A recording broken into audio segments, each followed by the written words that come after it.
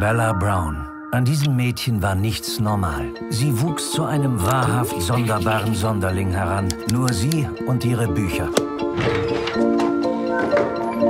Oh, hallo, Entschuldigung. Ich habe nicht mit Ihnen gerechnet, Mr. O'Brien. Die Angelegenheit ist dringend, Miss Brown. Ich habe eine Beschwerde erhalten. Was? Von wem? Ich kann das nicht verzeihen. Sie lassen all das, was die Natur ihnen bietet, verkommen. Pflanzen und ich, wir verstehen uns nicht so gut. Das ist keine Vernachlässigung, sondern mehr Angst. Sie haben dafür genau einen Monat Zeit.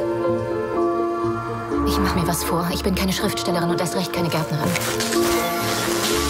Was machen Sie, wenn Sie nicht gerade Pflanzen umbringen? Ich wollte nur etwas Ordnung machen. Ich glaube, das war auch Hitlers Plan für Europa. Wie heißen Sie eigentlich? Bella. Alle nennen mich Billy. An Ihrer Stelle würde ich beim Schreiben bleiben. Besessen Sie nur einen Funken Menschlichkeit, würden Sie mir helfen? Wie legen wir einen Garten an? Wie bleibt es von April bis Oktober interessant? Schnell lesen mag ja gehen, aber schnell Gärtnern nicht. Du hast neulich ein Stück Papier liegen lassen. Mir gefällt dein mechanisches Vogelding. Würdest du es gern sehen? Mein Vogelding. Das ist Luna. Sie fliegt mit Licht, sogar mit Mondlicht. Deswegen Luna. Es ist ein unbeschriebenes Blatt. Die Chance zur Erschaffung eines eigenen Meisterwerks.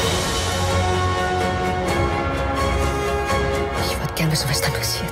Ja, ich auch. Rose hatte eine Leidenschaft für das Leben. Und ich sehe, dass genau dies auch in Ihnen steckt.